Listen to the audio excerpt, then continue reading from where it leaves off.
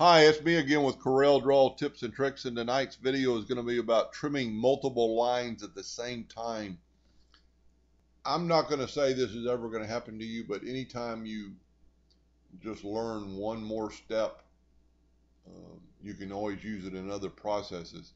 I've got some, just some, I'm going to call them matchsticks, uh, different heights, different angles, and I want to trim them all what most people would think would be to hold down their control button and go, I want to, I want them all to be that tall. Well, you could take your virtual segment delete key and just start deleting them. But that would take multiple clicks and not really necessary.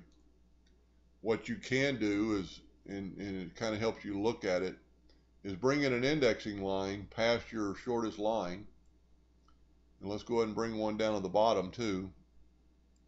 And then get your rectangle tool and start on that line. If you start on that line, it'll stay on that line.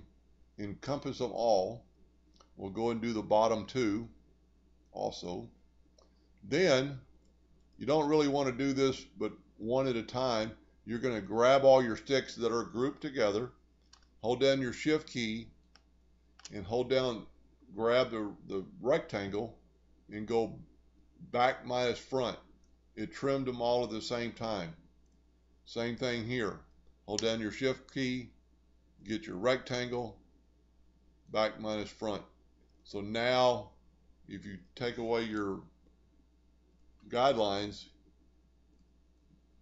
I don't know when you would ever use this particular case, but it kind of shows you back minus front and how you could trim multiple lines at the same time and make life easy.